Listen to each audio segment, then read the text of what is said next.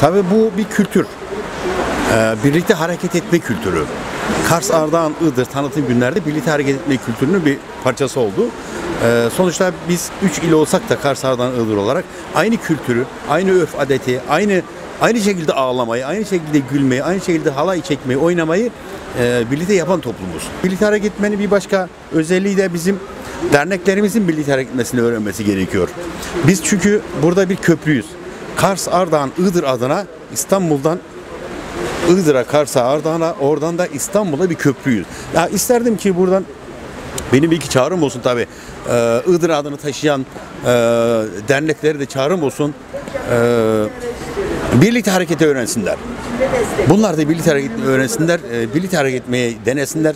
Çünkü e, biz şahsen e, Iğdır'la Sosyal Danışma ve Kültür Derneği olarak bizim buradaki amacımız e, Iğdır'ı da bu üçlünün içinde e, İstanbul metropolüne 16 milyona tanıtmak. Amacımız buydu. Biz bunu da yaptık zaten. Ben bu anlamda isterdim ki diğer burada olmayan işte 3 tane derneğimiz var bizimle birlikte hareket eden Iğdır e, hariç. İsterdim ki o dernekler de burada olsun. E, birkaç derneğimiz daha vardı e, ama isterdim onlar da olsun. Çünkü dernekçilik sadece kağıt üzerinde dernekçilik olmaz. Facebook'tan dernekçilik olmaz. Yani iki tane fotoğraf paylaşmaya dernekçilik olmuyor. Dernekçilik biraz özveri istiyor. Dernekçilik mücadele istiyor. Dernekçilik zahmet istiyor. Uğraş gerektiriyor.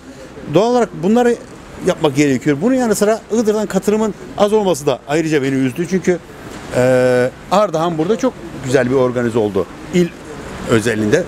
İsterdim yani Iğdır'da burada il olarak temsil edilsin, valilik olarak temsil edilsin. Sanırım Iğdır'dan bir tek Tuzluca Belediyesi geldi. Tuzluca Belediyesi geldi ve Tuzluca e, e, Çalışan Kadınlar Kooperatifi geldiler sağ olsunlar. E, sonuçta gelene de yer vardı burada. Yani gelmeyenler şunu bilsinler ki e, gelen herkese bizim burada bu üçlünün kapısı açıktı.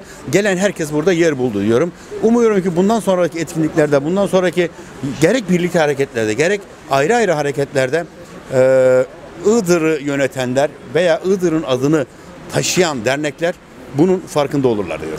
Sanırım mesaj yerine ulaşmıştır. Umuyorum.